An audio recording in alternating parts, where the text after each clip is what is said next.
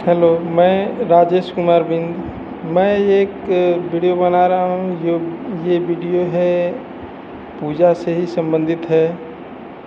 पूजा लोग करते हैं, उस पूजे के ही संबंध में मैं ये बताने जा रहा हूँ कि पूजा जो करते हैं, पूजा जो किया जाता है, इस पूजे में जो एक मुख्य बात और है। पिछला वीडियो में पूजा से संबंधित मैंने कुछ बात बताया था। लेकिन जो पूजा किया जाता है, इसमें बहुत एक महत्वपूर्ण चीज़ होती है। भगवान का फ़ोटो या मूर्ति का मुख किस दिशा के तरफ़ होना चाहिए, ये हम लोग के जो धार्मिक पुस्तक पुराण हैं, उनमें ये सब लिखा हुआ है कि भगवान का मूर्ति हो या फ़ोटो हो, उनका मुख किस दिशा की तरफ़ होना चाहिए? तो इसमें बताया गया है, धार्मिक पुस्तकों में लिखा गया है कि भगवान का मुख पूर्व दिशा, यानी पूरब दिशा की तरफ़ मुख भगवान का जो मूर्ति हो, फ़ोटो हो, उसका रहना बहुत ही अच्छा माना गया है। या यदि पूरब दिशा के तरफ़ किसी कारणवश न हो पाए उनका मुख तो उत्तर दिशा के तरफ़ उत्तर दिशा होता है, ये भी एक, भगवान का मुख के लिए, जो भगवान का मूर्ति हो, फ़ोटो हो, उसका मुख उत्तर दिशा की तरफ़ भी बहुत अच्छा माना गया है। धार्मिक पुस्तक पुराणों के अनुसार उत्तर दिशा भी बहुत अच्छा माना गया है। तो इसलिए इस बात का जो लोग भी पूजा करने वाले लोग हैं, जो जिन लोगों तक हमारी वीडियो को जो लोग देख रहे हैं? तो आप सभी लोग से यही हमारा ज्ञान का मेन बात जो आप तक पहुँचाने का है, ये मैं पहुँचाने की कोशिश कर रहा हूँ। यूट्यूब चैनल के माध्यम से आप जो लोग नए होंगे सब्सक्राइब करिएगा। पुराने लोग होंगे तो बहुत बहुत शुक्रिया बहुत बहुत धन्यवाद। तो इसमें यही मेन पॉइंट था, जो कि भगवान का मुख किस दिशा के तरफ़ होना चाहिए। तो दो अच्छा दिशा है यही, जो पहले बताया, पूरब दिशा या उत्तर दिशा के तरफ़। जैसे देखिएगा कि भगवान का जो भी मंदिर का दरवाज़ा होता है, या तो पूरब होता है, या तो उत्तर होता है। तो जिधर दरवाज़ा रहता है, उधर ही भगवान का मुख भी मूर्ति का रहता है। अक्सर ऐसा देखा गया है। कि पूरब दिशा की तरफ़ दरवाज़ा है तो मूर्ति का मुख भी पूरब दिशा के ही तरफ़ होता है। यदि यदि उत्तर दिशा के तरफ़ मुख है दरवाजे का जो मुख उत्तर दिशा की तरफ़ है तो भगवान की जो, भगवान देवी देवताओं, जिनों की जो मूर्तियाँ हैं तो उसका भी मुख उत्तर दिशा के ही तरफ़ होता है। तो ये एक बहुत महत्वपूर्ण ज्ञान है। आप सभी लोग इस ज्ञान का फॉलो करेंगे तो आपके लिए अच्छा ही रहेगा।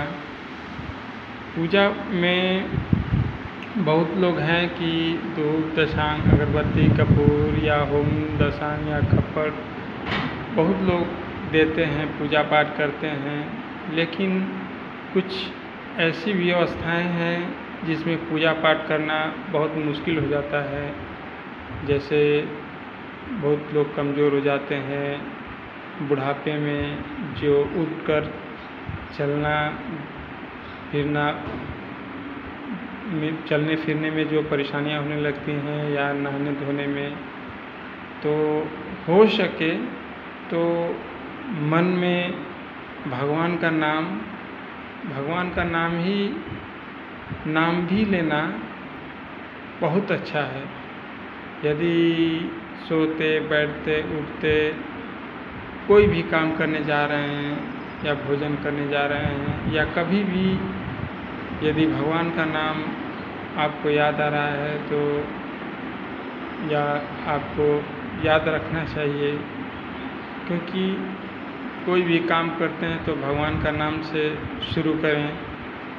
या बीच में भी भगवान का नाम लेकर के मन में गुनगुनाते रहें और मुस्कुराते रहें, क्योंकि ये पूजा पाठ है, ये बहुत ही इंसान के दिमाग के लिए बहुत ही आवश्यक है, क्योंकि जीवन में, इंसान के जीवन में बहुत ही बहुत ही भाग दौड़ इस ज़िंदगी में दिमाग को रेस्ट जल्दी नहीं मिल पाता है। इंसान अपने काम के लिए हमेशा मैक्सिमम दिमाग को अपना यूज़ करते रहते हैं। इसलिए थोड़ा भगवान में लीन होने पर एक दिमाग को एक अलग ही ढंग का रेस्ट मिल जाता है। लोग सोते हैं, लोग सोते हैं तो दिल, दिमाग और शरीर को रेस्ट मिल जाती है और शरीर को पुनः ऊर्जा प्राप्त हो जाती है। इसलिए जिस किसी को यदि ऐसा हो कि उनको चलना फिरना मुश्किल है तो बस भगवान का नाम लेते रहें, वही अच्छा है। उसी, उससे भी कल्याण होगा। या मानसिक भी पूजा किया जाता है। मन में भी पूजा किया जाता है, वो पूजा किया जाता है।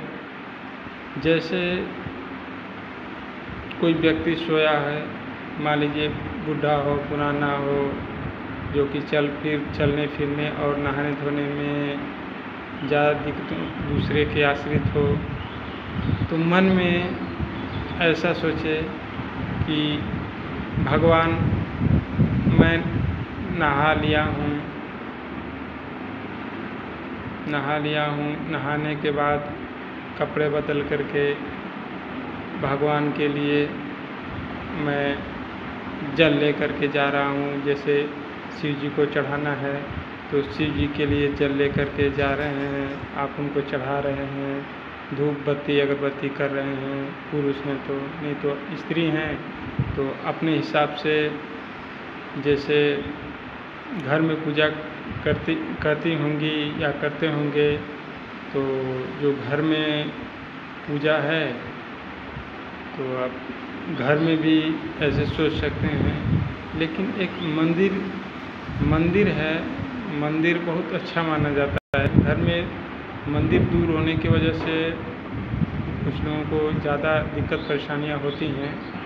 इसलिए घर में ही पूजा का प्राविधान हो गया कि नहीं घर में भी पूजा किया जा सकता है। मन से, दिल से भगवान को कहीं से भी याद करिएगा, कहीं से भी पूजा करिएगा तो वो पूजा भगवान को मिल जाता है।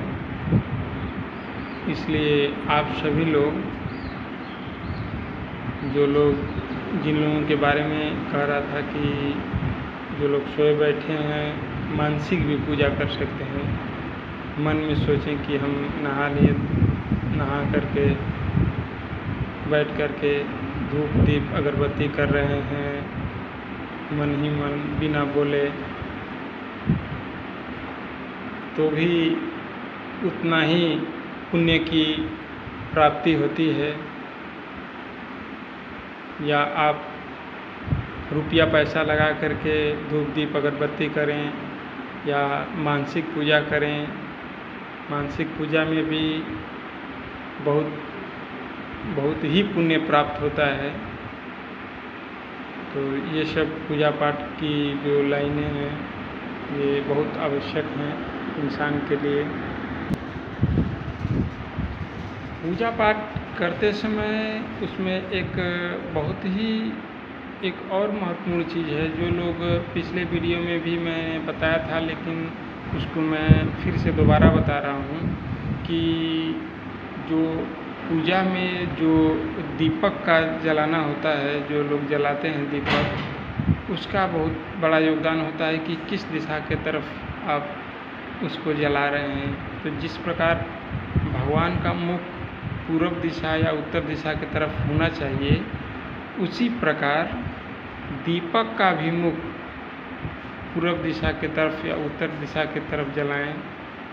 यदि आप लोग, हो सकता है कि भगवान का फ़ोटो किसी कारणवश, किसी समस्या के वश जगह अपर्याप्त न हो या किसी कारणवश भगवान का मुख किसी दूसरे दिशा के ही तरफ़ हो, फिर भी पूजा करते समय जो दीपक जलाएँ, वो दीपक को हमेशा पूरब या उत्तर दिशा की तरफ़ उसका मुख करें। जैसे उसकी बाती लगाई जाती है, जिस जिस तरफ़ बत्ती उसको आग से जलाई जाती है, जिस किनारे पर बत्ती रहती है तो जो जलाई जाती है, उसका मुख पूर्व या उत्तर दिशा के तरफ़ ज़रूर करिएगा। इससे बहुत ही फ़ायदे, फ़ायदा होता है। इसमें पूजा पाठ में एक और महत्वपूर्ण बात बताने जा रहा हूँ। यदि आप लोग चाहते हैं कि घर में सुख, शांति, समृद्धि बनी रहे तो बनी रहे तो हर एक अमावस्या के दिन, हर एक अमावस्या के दिन घर की अच्छी तरह सफ़ाई करके बेकार सामान जो भी कूड़ा करकट हो, उसको जो है कि सफ़ाई करके कम से कम एक दिन के लिए उसको घर से बाहर अगल बगल कहीं निकाल दीजिए ताकि जैसे बेकार सामान हो घर में, न रखें। कच्ची कच्ची लस्सी का छीटा दे करके अगरबत्ती जलाएँ और पूजा पाठ करें। अमावस्या का दिन और, अमावस्या के दिन और पूर्णिमा का दिन, ये बहुत अच्छा दिन होता है।